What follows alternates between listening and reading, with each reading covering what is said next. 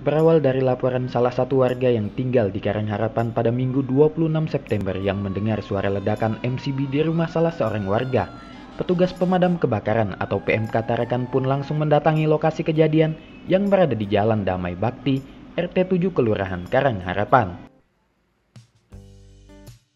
Kasih Ops Pemadam Kebakaran Kota Tarakan Irwan mengatakan, ledakan MCB terjadi pada pukul 23 lewat 30 waktu Indonesia Tengah, di mana setelah dilakukan pemeriksaan bersama petugas PLN, penyebab ledakan diduga adanya kelebihan beban pada MCB tersebut.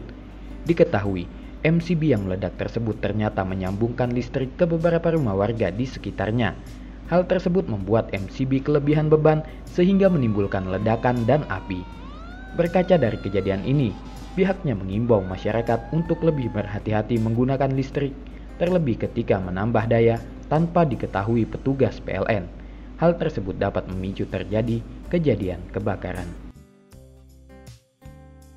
MCB lainnya gitu. Jadi satu MCB dibagi beberapa rumah gitu.